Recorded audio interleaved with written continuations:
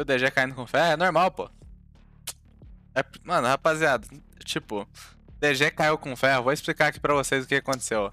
DG caiu com ferro no time porque, ó, Radiante é o elo mais alto do jogo. Quando você é Radiante, não tem mais pra onde você subir, certo? Tipo, se você tá Radiante, não tem um outro ranking pra você pegar. Você já tá no... Você já chegou no fim. E quando você é ferro... É... Ferro 1. Quando você é ferro 1, você já chegou no fim também. Não tem mais como você cair. Então, tipo...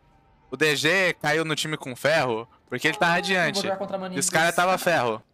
Aí como os caras tava ferro e ele tava radiante, nenhum, nenhum dos dois tinha mais pra onde ir. Um não conseguia mais subir e o outro não conseguia mais descer. Aí a Riot pensou assim, caralho, mano, os dois chegaram no fim do game, mano. Um não consegue mais subir, o outro não consegue mais descer. Vamos botar eles no mesmo game. Estão no mesmo nível de jogo. Marcha. Aí foi basicamente